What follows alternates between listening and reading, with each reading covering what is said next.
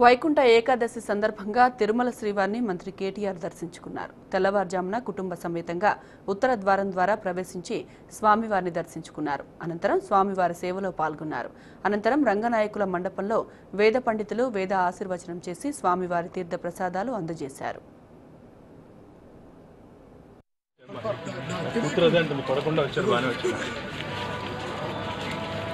మనిషి I think you should hop in very very